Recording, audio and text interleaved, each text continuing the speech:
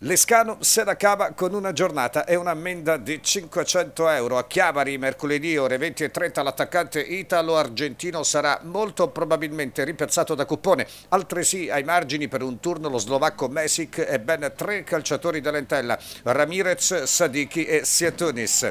Si ripartirà dalla 2-1 che non mette al sicuro ma è un risultato pesantissimo perché ottenuto in rimonta soprattutto in 10 dopo 60 minuti senza dubbio complicati. Test testa, cuore e gambe. La condizione fisica continua a fare la differenza. Era già accaduto contro Picerno e Virtus Verona. Per circa un'ora però partita, come si diceva, difficile. Subito aggressivi i Liguri non permettono le solite giocate biancazzurri che accusano difficoltà evidenti nella prima costruzione. Palloni persi banalmente, errori tecnici ma anche poco movimento senza palla sulle catene. Esterni d'attacco mai messi nelle condizioni di provare l'uno contro uno. Soprattutto in avvio il gol regalato con una serie di di omissioni che chiamano in causa un po' tutti, Plizzari compreso.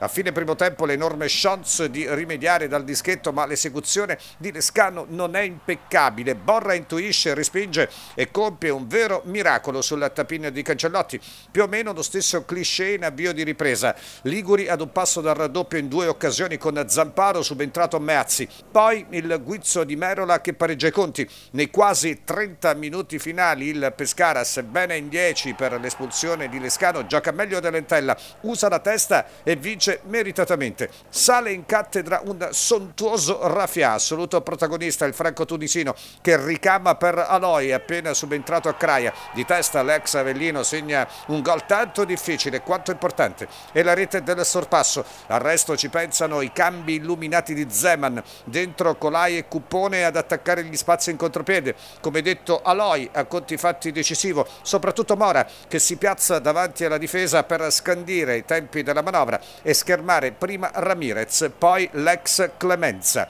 Insomma il Pescara non si snatura ma gioca con intelligenza e non corre alcun rischio, sino al 96esimo. A Chiavari però mercoledì ore 20 e 30 vietato perdere in caso di sconfitta di misura con qualsiasi risultato, i gol in trasferta non valgono doppio, passerebbe Lentella come testa di serie, non sono previsti i tempi supplementari.